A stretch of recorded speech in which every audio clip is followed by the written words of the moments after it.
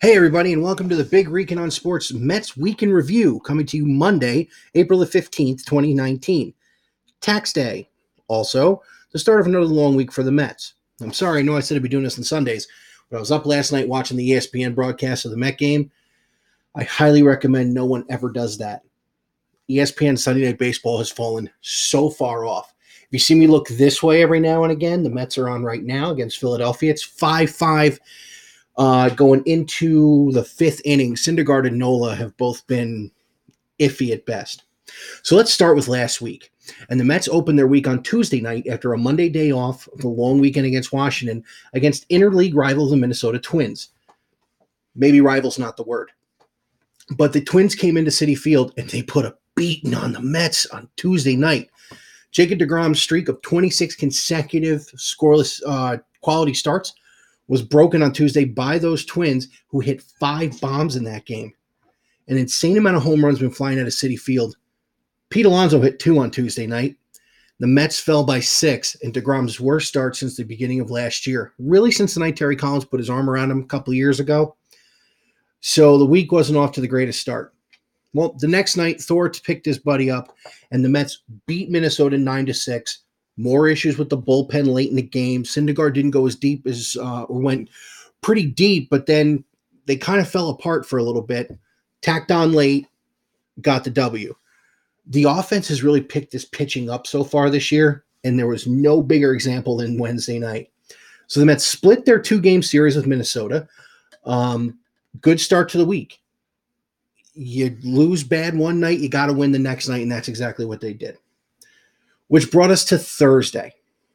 And we're going to spend some time on this series because this is in Atlanta, a four game series against the Braves.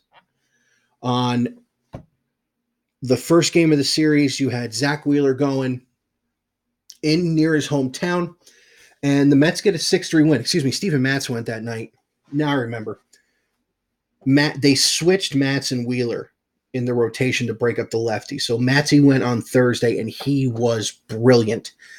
Uh, he pitched deep into the game. He struck out eight, did not allow a run. Again, the Mets had issues with the bullpen getting guys out, but they get the win 6 3. Another big night for a Mets young offensive player, but this time it wasn't just Alonso, but we'll get to him in a minute.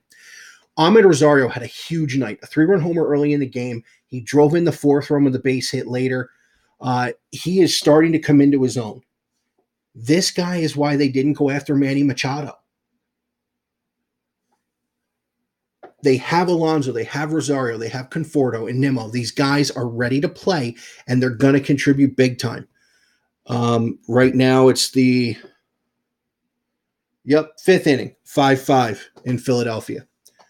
Um, so Rosario did the heavy lifting on Thursday night. The Mets win the opener against Atlanta down in Atlanta at SunTrust Park. Hopefully, it's not the little shop of horrors that Turner Field was for the Mets for all those years.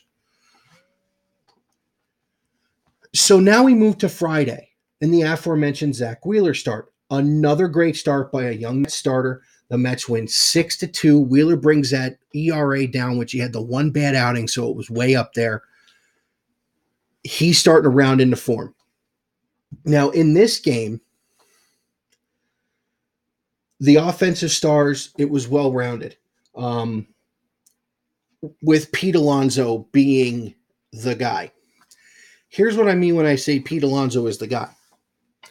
He hit a ball on a line 455 feet to dead center field in Atlanta, splashing down in the batter's eye fountain they have out there. The ball was staying straight. This wasn't coming down. This was not a fly ball. This was an absolute rocket off the bat of Pete Alonso. It was, I believe, since they started f- charting this, the fifth hardest hit ball in the StatCast era. The only guys who have hit balls harder than this are named Stanton and Judge. And those two dudes are humongous and all they do is bash home runs, strike out a lot. Alonso hasn't done that much. He's starting to dip a little in the swing, but I think he's getting a little too home run happy. When he gets back to that line drive swing that Hernandez absolutely adores, uh, I believe he will turn this around.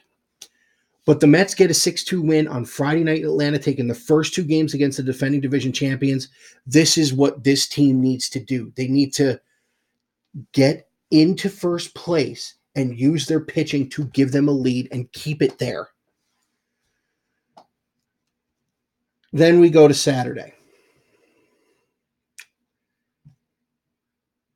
And it's the Jason Vargas experiment. The best part of this game was that Vargas didn't last long. Oh, that's right. He lasted a third of an inning. He got one out. He threw like 40 pitches. He got one out. Now, I learned something on Friday night, or Saturday night, excuse me. FS1, my Fox Sports app on my TV, doesn't black out local games if they're the national game of the week. So I got to watch the Mets on Saturday night. Uh, listen, tip of the cap, not there's much hair there, to Atlanta reliever Touki Toussaint, who was phenomenal Saturday night.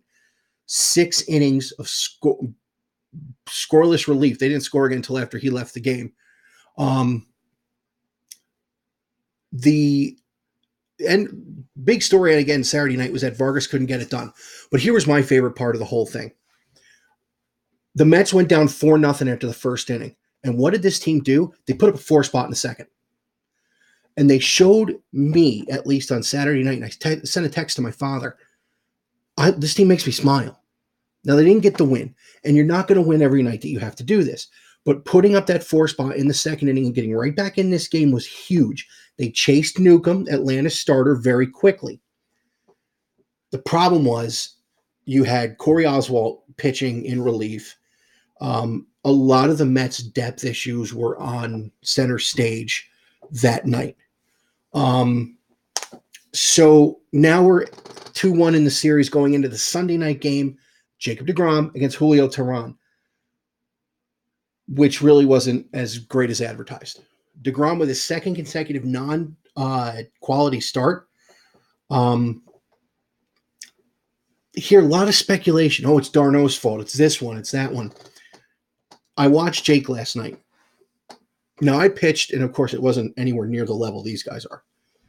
But one thing on me personally that I really focused on when I was a player was my mechanics. And I always knew if I was throwing up, trying to throw a pitch too hard, it almost looks like he's trying to throw the slider too hard. He's getting it up to 95, but it's starting to level out instead of that snap dip he's always had on it. He gave up a bomb to Josh Donaldson, which you're talking about a former Hall of Famer or a former MVPer, excuse me. Um, this guy still knows how to hit.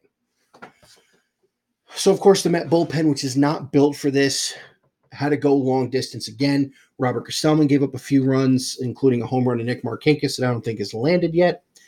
Um, so the Mets end up splitting their series in Atlanta to drop them to second place in the National League East, uh, a half a game behind Philadelphia, where they are now for four. So the next week for the Mets coming up is going to be a big week, especially with the end of the first month of the season coming. In Philly for the next three. I'll go right to my calendar since it's loaded in there. So in Philly for the next three uh, Monday, Tuesday, Wednesday, third Monday, Tuesday, Wednesday. It's only three in Philly, and then they come home on the nineteenth, or then they go to St. Louis at the end of this week. Uh, so you're going to get playoff caliber team after playoff caliber team at this part in, in the schedule. It is not an easy schedule to start the season. Seeing the Nationals twice, then going to Atlanta, then having to play the Phillies, then in St. Louis, home for the Phillies. Um, Milwaukee comes into town, the defending Central Division champions, and then they play Cincinnati at home, who is an up and coming team to end the month of April.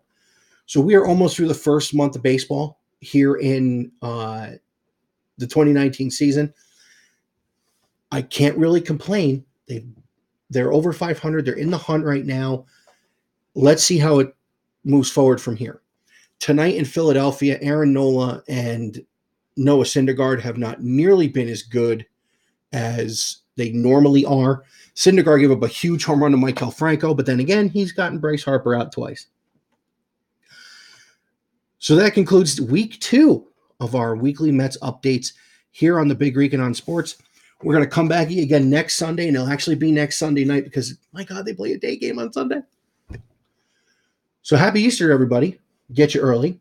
I just uploaded our 2018 2019 Cleveland Cavaliers wrap up show to Google, Spotify, Breaker, Pocket Cast, Radio Public, and I'll have it up on SoundCloud in just a little bit. Look at the Big Rican on Sports Facebook page for all the details on everything. Have a great weekend. Let's go, Mets.